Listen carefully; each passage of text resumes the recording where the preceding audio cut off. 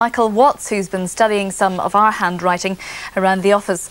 Michael, good evening. Thanks good for evening, coming Stephanie. in. What general guidelines can you follow in handwriting? I mean, is, is it if someone's a good handwriter, then they're a good character, or if they're a bad handwriter, they're a bad character? Well, graphology is actually based on the study of expressive gestures which are frozen onto paper, much in the same way that we can interpret non-verbal communication that a person exhibits in accompaniment to their speech. So we interpret the expressive gestures as they are seen frozen onto the paper, and this gives us plenty time to interpret. Now, it's based upon empirical observation. In other words, graphology is largely based upon the correlation of specific handwriting shapes and signs connected with specific personality traits. All right, we gave you some samples to analyse. Um, we can have a look at them here, actually. Um, this is the first sample. What, what do you make from that? Okay, A, to I begin think. with, sample A shows enormously high stamina. Now, this can be seen from the long extensions, the long descending lines on letters such as G.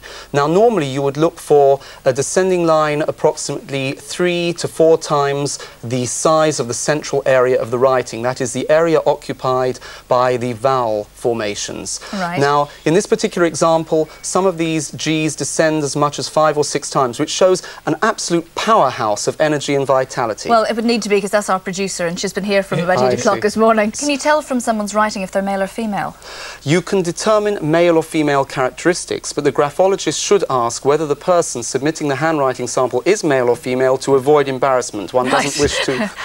So um, the next point that comes out is the immense leadership drive. Now, this is shown by the uh, upward slanting T crosses, and also some of the T crosses are remarkably long. Now, when the cross uh, over a T is uh, twice or more the size of the stem, this shows a very assertive will that needs to be in a position of leadership in order to feel fulfilled. So there'll be immense frustration if someone with this sort of handwriting characteristic is employed in a position where they have to answer if, to if outside we can just go on to our next sample, I think I think we have that. What about if I can just ask you in the meantime? Now, there's the next um, sample there, and, Yes. and my name beside it.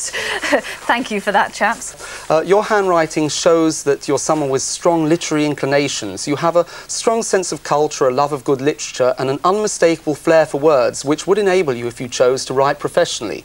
Now, in my book, under the chapter heading entitled The Literary Type, I mention this type of person will obviously feel most at home in areas such as journalism, advertising, publishing, etc. So, your profession at the moment is, I think, very ideally suited to your temperament. Now, you'll notice the stems on your letter Ds are extremely short, and this shows that you're a very free spirit. You need to work without too much outside authority directing your moves, and you underline your signature with an extremely firm stroke, and this shows a strong sense of self-reliance and also exceptional confidence, which will transmit in, in uh, a manner that people will have great confidence and assurance that you Okay, if we can just have our, our next sample, that's um, example Okay, C, I the next sample is sample C.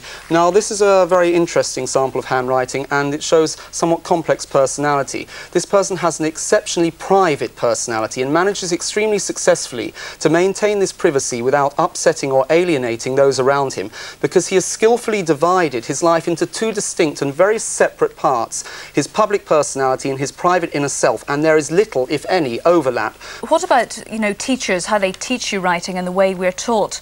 And, you know, for, for example, doctors' writing always seems to be a great scroll. Is that, is Yes. that so that we can't read the prescription, or is that a certain type of character? Well, when the handwriting uh, degenerates to the point where the letter forms become illegible, this shows the person is working under a very high pressure load. So um, it means that they're under a great deal of stress and they may well be coping with their work environment sufficiently well, but their health or psychological well-being w- may inevitably suffer as a Mike- result of Michael the intense Watts, pressure. thank you for joining us. I'm sorry, we'll have to leave it there. Okay, thank Thanks you very again. much, Stephanie. Interesting stuff. I'm glad he didn't see my writing. I've always been embarrassed Did about you think that was true, all those things that graphologist was it. saying I, I about was me? amazed. I love that sort of thing. Yeah. Uh, I'd love to know It was he quite accurate, mine. really. Yeah. Certainly was. You live and learn. Back in a few moments.